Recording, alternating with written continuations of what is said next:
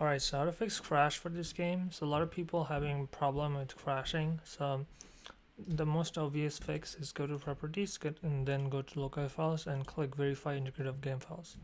So what it does, if you have any corrupted files in the game, it will automatically fix it for you.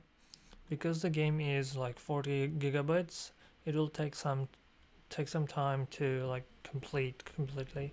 And it's like 12 13 percent I'm gonna quit so that's uh, all you have to do if you uh, if you if your game is like crash or something. Um, second thing um, you're gonna right click to your desktop and go to your NVIDIA control panel. If it's for your AMD then uh, this is probably not this fix is not probably for you.